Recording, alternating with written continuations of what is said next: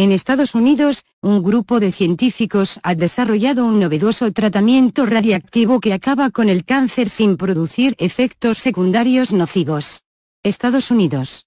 Guión un equipo científico de la Universidad de Missouri, Missouri en inglés, anunciaron que habían probado su innovadora terapia contra el cáncer en ratones y resultó todo un éxito.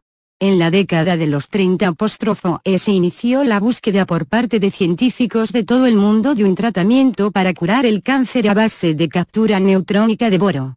Nuestro equipo finalmente encontró la manera de hacer que este tipo de captura funcionara aprovechando la biología de una célula cancerosa tratada con nanoquímica, explicó Auton, quien dirige los estudios científicos al respecto.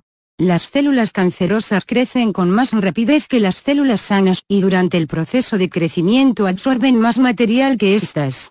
Entonces los científicos de Missouri aprovecharon esta circunstancia para obligar a que las células cancerosas absorbieran y almacenaran un compuesto de boro diseñado por Autorne. Entonces cuando las células cancerosas alimentadas con el boro fueron expuestas a los neutrones, una partícula subatómica, el átomo de boro, se hizo añicos y desbarró selectivamente las células enfermas sin afectar las células vecinas sanas. Con nuestra técnica podemos tratar una gran variedad de tipos de cáncer, anunció esperanzador Autone.